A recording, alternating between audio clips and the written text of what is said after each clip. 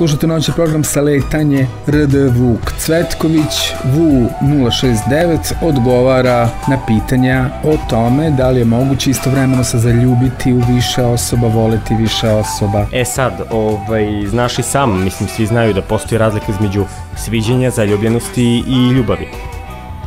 Ovaj, kad ti se ne, mislim, kad ti se neko sviđa, samo si u fazonu, okej, okay, pardon, bio bi sa ovom osobom, super, ovaj, lepo izgleda, ne znam, privlači me iz nekog razloga.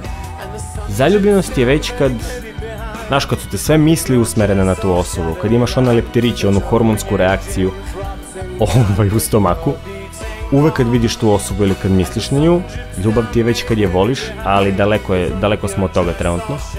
Ovaj, tako da, ovaj, svi, e, ono što ja mislim je da sviđenje može biti usmereno ka više osoba. Znaš kao, sviđa mi se ta, ta, ta, ta osoba.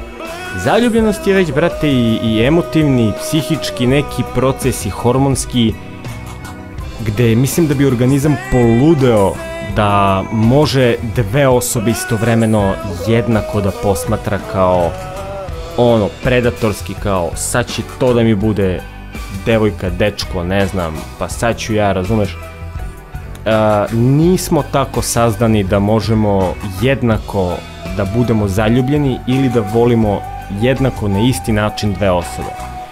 Mislim da je ono je, uh, pre svega ovaj, svaki čovek sazdan za jednu osobu i to ti kažem i biološ, iz biološke strane i, i ovako s moje tačke gledišta. I ovaj, zaista mislim da čovek može biti zaljubljen iskreno samo u jednu osobu, ali eto, da mogu da mu se sviđaju više. A o ljubavi, mislim, nema potrebe da govorim, tu imaš viste, više vrsta ljubavi za koje mi nemamo reči, za razliku od Grka, ne znam, Eskima i tako dalje. Tako da, eto ti moj odgovor, brate. Sviđenje više osoba, ok, ali zaljubljenost uh, jedna osoba isključivo. Hvala puno, Vuče.